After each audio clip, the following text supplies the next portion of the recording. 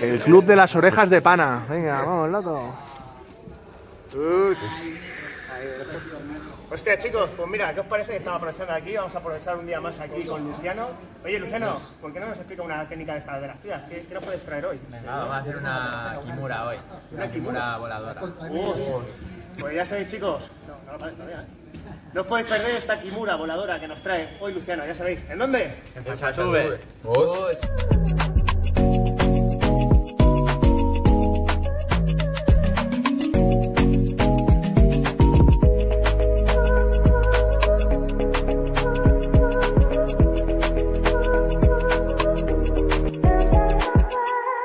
Gracias por venir otro día más aquí al canal.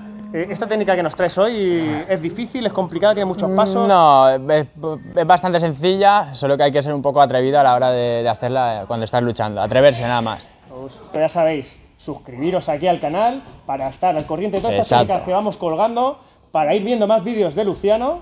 Y bueno, vamos allá, vamos a por la técnica. Vamos, vamos. Venga, vamos allá. Beat raps like a heart attack, fast fatal heart impact, past painful scars. In fact, I blast tasteful bars and. I back up my actions, fact don't ask, grab reactions, jack. Vamos a partir de aquí, de la guardia de la arriba. Eh, va a tener el agarre del pantalón o del tobillo, el pantalón, como queráis, ¿vale? Y esta manga, ¿vale? Yo no, no puedo usar esta mano, me la tiene muy cogida, ¿vale? ¿Qué voy a hacer?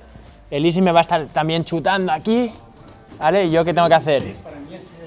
Romper este gancho, venir aquí y ahora lo que hago es coger esta mano en el antebrazo, ¿vale?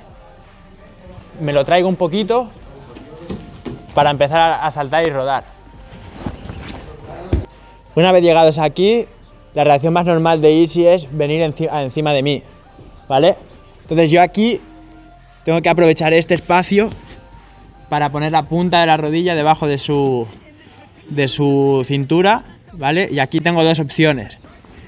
O poner el gancho, girar todo y ir a la espalda, o vuelve pasar la pierna por encima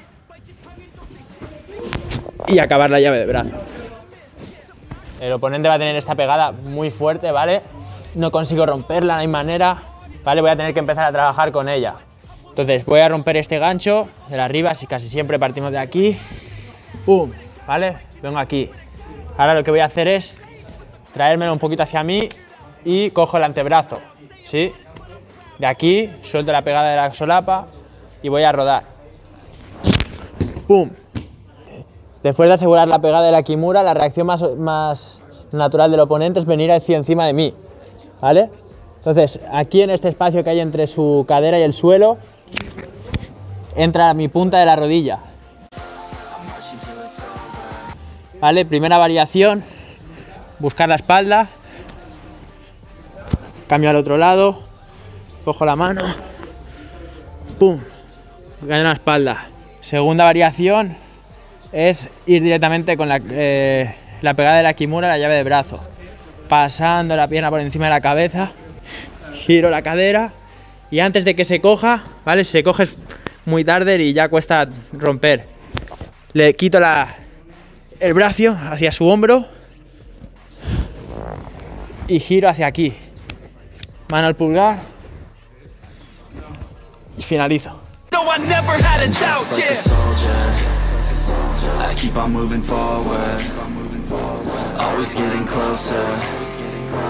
March until it's over. And just like a soldier, keep on moving forward. Always getting closer. I'm march until it's over. Just like a soldier, I keep on moving forward. Always getting closer. I March until it's over.